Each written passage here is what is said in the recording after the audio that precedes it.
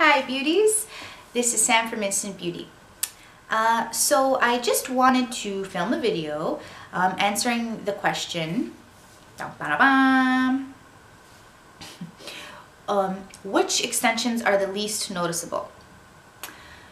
So of course, it depends on your own hair type. Uh, if you have very thick hair, you shouldn't have a problem no matter which type of extension you want to use. You're lucky because um, nobody would notice any bonds or any, any clips or whatever in your hair because your hair is so thick that it will cover.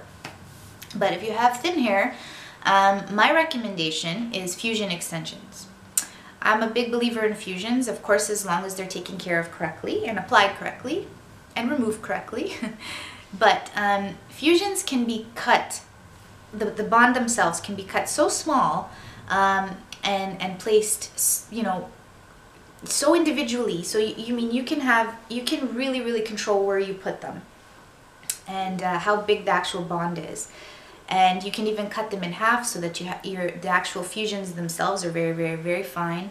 Um, and the good thing about this is you will not be able to notice them. Like you have to get very, very close to see the bond themselves. So fusions are definitely one of the best methods. Um, you can get them done and they can be big and chunky and, and, and as well. But if you ask your extension technician to cut them for you, cut them in half and place them strategically, you'll never see them. Tape extensions where when, when you put them in right away, they're nice and flat and they're great, but as soon as they start to grow out, um, you can see them. The beads sometimes as well, you know, when you put those in fresh, they're beautiful, but as they grow out, sometimes if your hair is very thin, you can see the little bead. But the fusion, um, the bond is clear. So again, as they grow out, even, even as they grow out, and because they are so small, you'll not be able to see them. And if you do, you have to really get in there you know, with the magnifying. No, not really, but really those are the best, those are the best methods. Uh, fusion are the best method of extensions to wear if you don't want them to be noticed. So that's it for this video guys, really really quick one, but I just wanted to answer that question because I've been getting a lot of that specific question. So uh, I hope I answered it for those of you who uh, were curious.